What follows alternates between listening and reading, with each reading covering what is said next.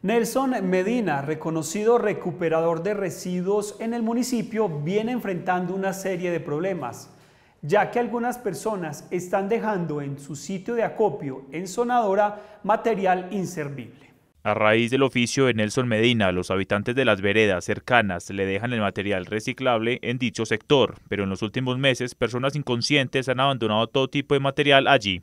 Pero si bien hay personas que lo están haciendo de una manera correcta, consciente y también por colaborarle a don Nelson, hay muchas otras personas lamentablemente que lo están haciendo de la manera que no es. Y de pronto no lo están haciendo de mala fe, sino que de pronto no sé si, si haya falta de, de conocimiento de cómo es el proceso de separación para entregarle también a don Nelson. Además de eso, sabiendo que don Nelson es una persona invidente.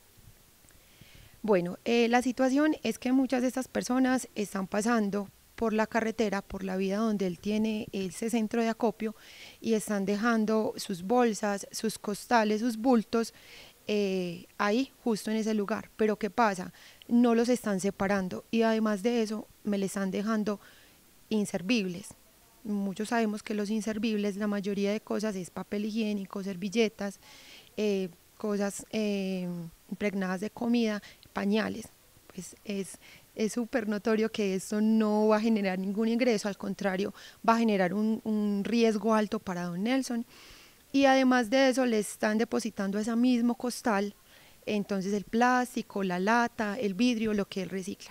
El llamado es en especial a los habitantes del corregimiento Alto de Sabanas a que no utilicen el acopio de material reciclable de Nelson como un botadero de basura. Otro de los factores y de las problemáticas que se están eh, ocasionando en estos momentos es que me le están llevando productos y empaques de agroquímicos. Resulta que hay muchos de estos productores que inconscientemente eh, se están deshaciendo de estos elementos, de estos residuos altamente peligrosos y no están esperando la campaña, ¿cierto?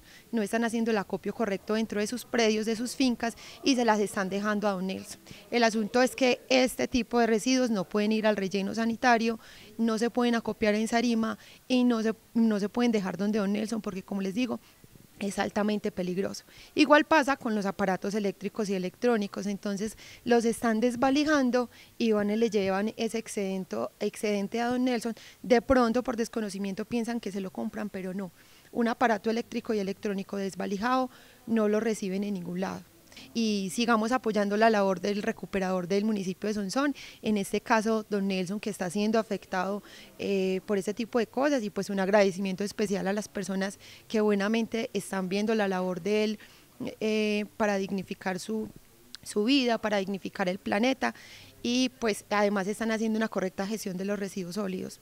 La invitación final desde la Secretaría de Asistencia Rural y Medio Ambiente es que primero se sigan separando adecuadamente los residuos sólidos como parte del compromiso con el medio ambiente y segundo que apoyen a los recuperadores o recicladores en la labor que realizan.